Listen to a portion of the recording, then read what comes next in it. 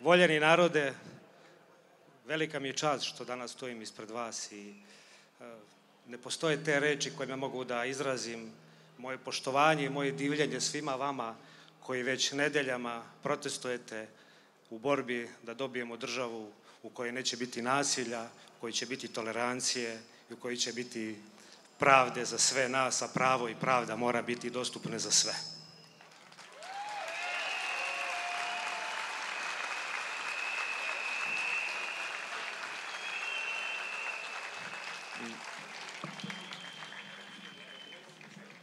Ne postoje ni te reči kojima mogu da izražim osjećanja koje ste probudili u meni. I kada sam dolazio i juče kada su moji prijatelji dobili informaciju da ću danas biti govornik, mnogi su me pitali da li si spremio govor. Ne, ja nisam spremio govor. Ja sam došao da pričam iz srca, došao sam da podijelimo zajedno emociju i da se izborimo za bolju budućnost.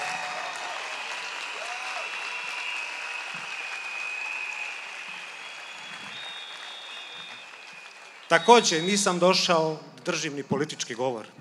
To nije u domenu mog interesovanja. Došao sam kao građanin, došao sam kao komšija, došao sam kao roditelj, došao sam kao sin, zabrinut za budućnost naše djece. Došao sam da svi zajedno pokušamo da ovu zemlju učinimo boljom, da budućnost naše djece bude bezbrižna i da zaboravimo na nasilje kojemu smo izloženi posljednjih deset godina.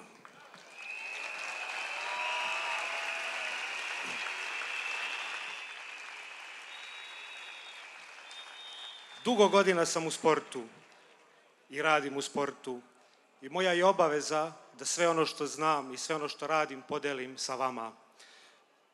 U Srbiji srpski futbal ne postoji. Postoji samo mafija u srpskom futbalu koja izrabljuje srpsku decu, koja ponižava srpsku decu, koja oduzima svoj deci pravo da se bave sportom.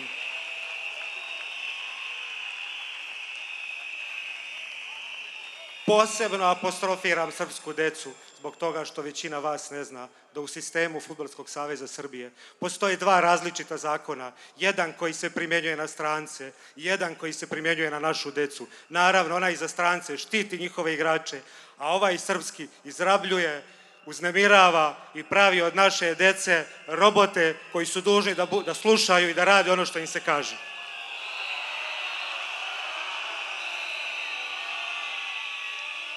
Ja ne želim da živim u takvoj zemlji. Ja želim da svi mi zajedno učinimo da naša deca budu srećna. Ja želim da svakom detetu bude sport dostupan, da roditelji na kraju mjeseca ne moraju da razmišljaju o tome da li će imati novca da plati članarinu. Jer to nije investicija, to je ulaganje u našu decu, u našu budućnost i u njihovo zdravlje.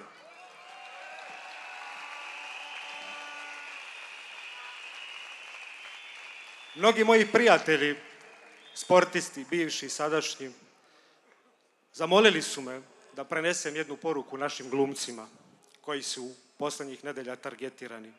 Zamolili su me da im prenesem da ih volimo, da se divimo svemu što rade, da smo ponosni na njih i da su oni najbolji deo našeg društva.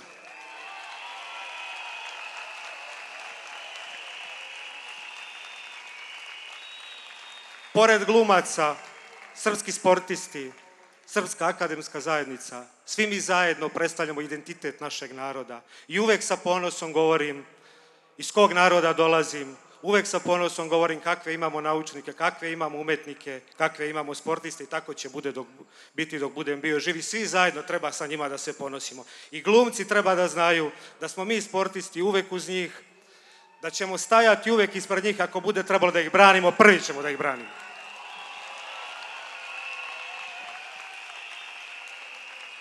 Želim također da im se zahvalim na svemu što su uradili za ovu državu, za srpsku kulturu, na zaostavštini koju su ostavili svojim delima, što predstavlja najveće bogatstvo za naš narod.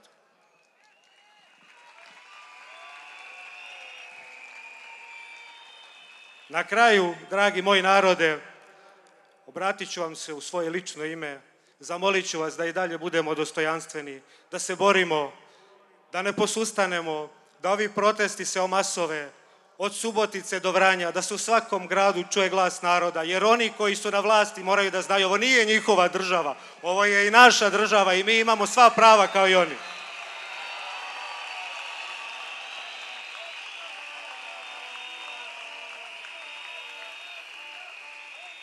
Hvala vam na velikoj ljubavi, živela Srbija i do pobjede.